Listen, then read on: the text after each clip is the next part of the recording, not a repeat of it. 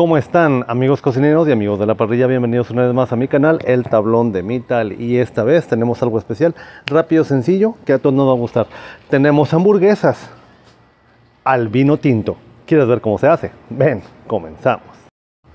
Y en esta vez para esta receta, ¿qué es lo que vamos a necesitar el día de hoy? Vamos a necesitar un kilo de carne molida de res y un kilo de carne molida de cerdo o dos libras de un tipo y dos libras de otro. Vamos a necesitar vino tinto, un poco de azúcar blanca, azúcar refinada. Vamos a necesitar una media taza de salsa barbecue o barbecue, la que tú quieras, y finas hierbas a tu gusto. También vamos a necesitar cuatro huevos, cuatro rebanadas de pan de caja, una taza de avena entera, no molida, sazonador para carne y mantequilla, cualquier cantidad de mantequilla que tú tengas. Hay que hacer una observación, va a ser un huevo y una rebanada de pan por cada medio kilo de carne o por cada libra de carne de la receta. cebolla morada picada en pedacitos un poco pequeños y salchichas para asar todas las que tú necesites. Otro de los ingredientes va a ser ramitas de romero fresco y mi amigo Filín me va a ayudar.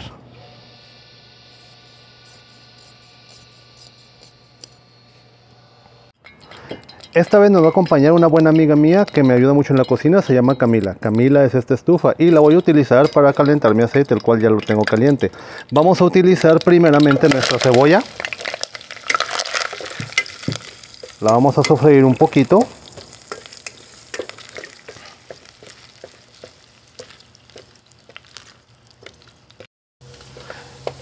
Ya que nuestra cebolla ha estado un poco sofrita, vamos a colocar nuestra salsa barbecue.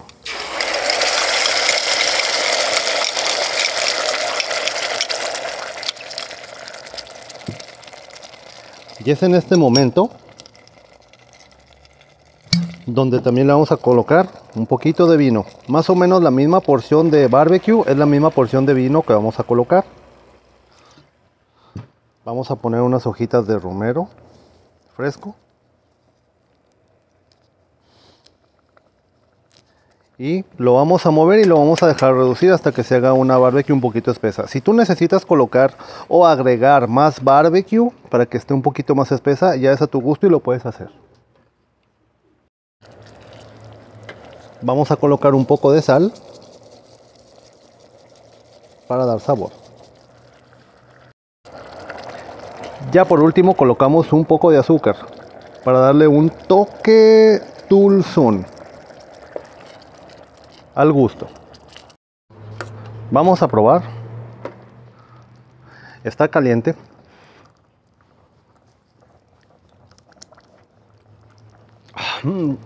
Ah, qué delicia. Tenemos el toque del vino, está bien presente.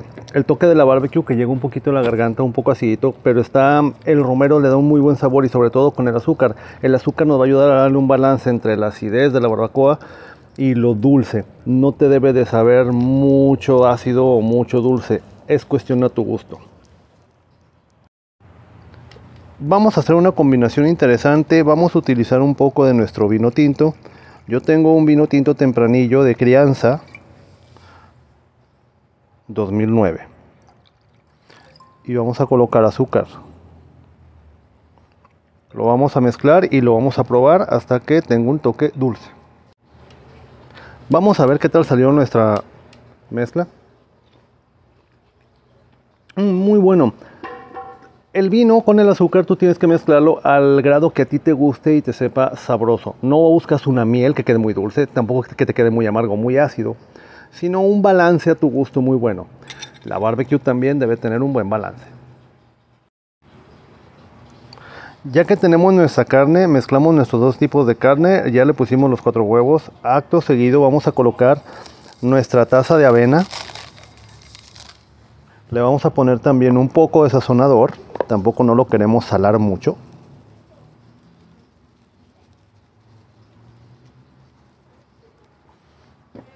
Y ahora sí, ¿qué es lo que vamos a utilizar? El pan lo vamos a mojar en nuestro vino las cuatro rebanadas de pan y se las vamos a colocar. Normalmente esto lo haría en leche, pero ahora lo voy a hacer con vino. Si lo hiciera con leche y luego aparte le coloco el vino, me quedaría muy líquida mi mezcla y no me diera la rigidez para hacer nuestros panes para hamburguesa. Nuestras carnes para hamburguesa, perdón. Por eso lo vamos a mojar y lo vamos a colocar. Una vez que la mezcla la tengamos completamente homogénea, la vamos a tapar, la vamos a meter al refrigerador y mientras prenderemos el carbón. Tenemos mantequilla que le hemos dejado a temperatura ambiente por bastante tiempo. Debe de poderse modificar su forma, debe de poderse aplastar de esta manera y en este momento vamos a colocar tantitas finas hierbas de las que tú necesites o hierbas provenzales, lo que tú tengas. Y le vamos a regar sal también. y una vez así vamos a mezclar y en lugar de utilizar este, mostaza y mayonesa para nuestros panes esta mantequilla es la que vamos a utilizar es el momento ahora sí de retirar nuestra, carga, nuestra carne del refrigerador yo te recomiendo que con unos guantes manipules la carne porque es más fácil y es más rápido y lo puedas empezar a colocar en el asador a las brasas que agarre su sabor delicioso bueno, no me puedo esperar con un tequilita, un licor de tequila y refresco de animación. Salud.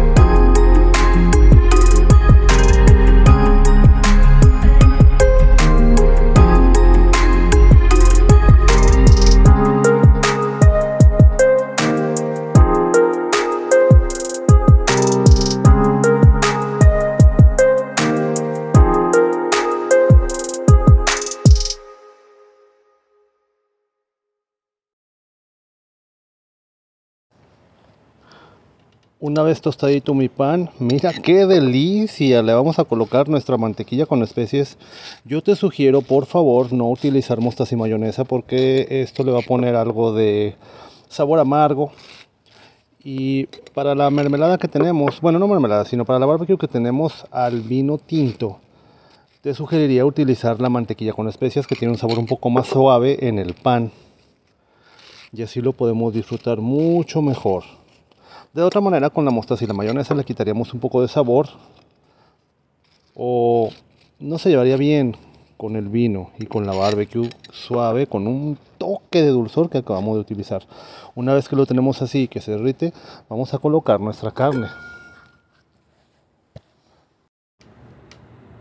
Voy a mandar unos saludos a dos buenos amigos y a un tercer amigo también muy bueno que yo tengo. Dos de ellos se llaman uno Daniel Puente, y el otro se llama Raúl Martínez, quien le manda saludos también a la familia Martínez de la Cruz. Ellos dos yo los certifiqué en operación de montacargas en planta Caterpillar. También un saludo muy grande a mi amigo Francisco Luna, instructor de capacitación de planta Caterpillar Torreón. Un abrazo a los tres. Salud. Colocamos nuestra barbecue. Vete saboreando esta deliciosura. Mira nada más, qué sabroso. Le colocamos gentilmente el pan. Y vamos a ver a qué quedó esto. Pero tú quieres estar aquí, ¿verdad?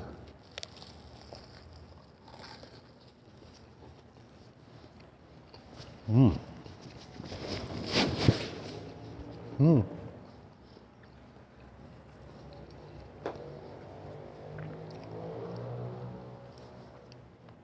Qué delicia. Mmm.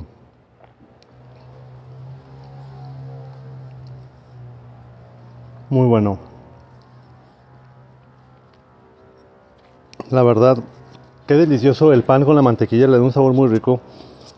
Y la barbecue que se le pone encima a la carne, a la salchicha, es una deliciosura. Yo te lo recomiendo. Está muy deliciosa la textura y muy sabroso el sabor, muy diferente a lo que normalmente no está acostumbrado. Tú puedes hacer eso en tu casa.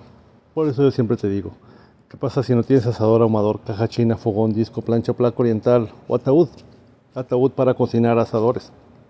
No te preocupes, porque todos tenemos estufa, ¿no? En casa y bastantes tenemos horno. Por eso yo siempre te digo que todo se puede hacer.